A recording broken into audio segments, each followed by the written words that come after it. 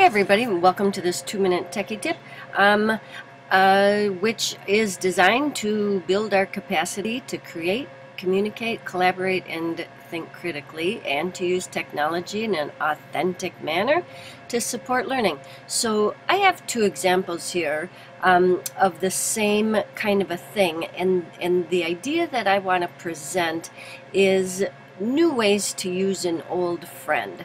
Um, Google Docs has been around for quite a long time, but this is kind of a new twist that I am seeing using Google Docs as um, the term I want to use is, is a lesson launcher. So essentially, all those resources that we as educators collect and, and have um, most often at our fingertips, but it might be in different places.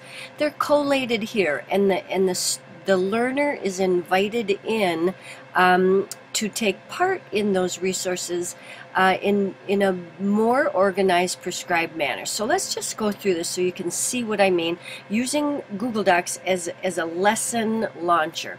So this is um, probably a fourth grade level and um, the topic is um, geography, earth and action. So kind of different things happening with the earth. So in this column is um, kind of like a do me. So things to do, and then this is um, responses from the student. So what the teacher did is use Google Docs, created a table, and pulled together a YouTube video. Let's see if I can open this up and um, have this open up nicely. Um, I, I would bet um, that this has been a, a, great video to use um, so you can see how that's going to work um, that they have used in class. Well the twist might be that this might be sent home or done the day before um, a traditional class is being taught. So possibly the students are given this to work through before anyone even says, hey, fourth grade geography, we're going to be talking about different um, earth actions, different kinds of um, things that happen with our earth. And I want you to go through this document. So they're going to come to this and, and watch this video. She gives all of the resources here.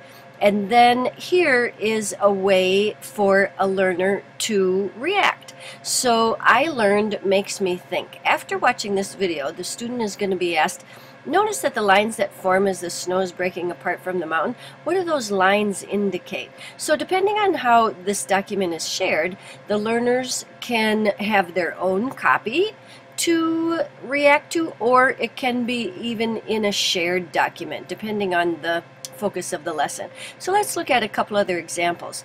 So here's an article that the teacher might pass out, um, might on paper, but instead they made it a PDF. And here's an article from the New York Times that learners can read and then respond to over here. Um, here the teacher used a thing link, which is just awesome. I'll open that up. And basically all it is, is you use a picture of whatever your topic is, but then you pull together again all of those resources that we have. And here is um, each little circle is a link to something um, an article, a video, a um, graphic organizer. So you can just see how simple the concept is that students at their own pace can come and explore all of these resources. So here, after they click on the ThingLink, um, the educator has them go to this document and then add a row, list one thing you learned about avalanches, and um, so that's just going to further the discussion in the classroom. Um, here's a Blendspace, which is similar to ThingLink, but again, resources are organized. So rather than, gosh, where is that great video that I had, um, and trying to find the URL, um, educators today need to collate these resources in ways that are going to be helpful for the learner. But you can see how Um, students can go at their own page pace. They can respond to questions. They could go above and beyond. Um, develop their own project on Earth in Action.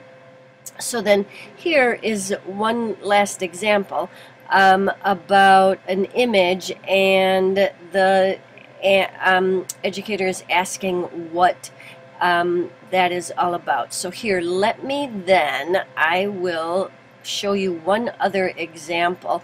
So this is a fairy tale unit, and this might be maybe third grade, maybe fifth grade, um, but the lesson is put together just normally, but the Google document is again a lesson launcher. So here's a video about fairy tales.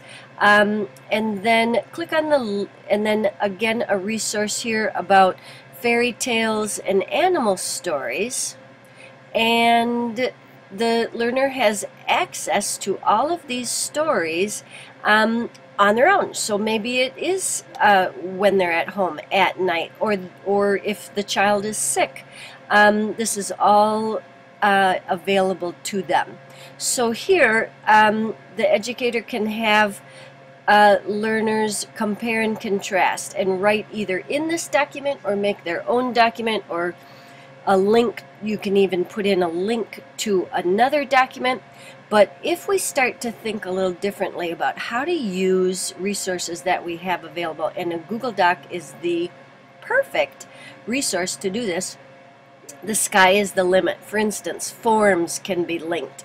Um, so here you can do an assessment right from your Google Doc or your lesson launcher to uh, assess formative and or summative um, where are they so your entire unit really can be structured within a Google Doc or a lesson launcher you can add resources as you go um, and all of your awesome things that you typically use for instruction are in one place, can be shared with the learner, and um, it's a far more powerful experience because they can go back. They have access to everything.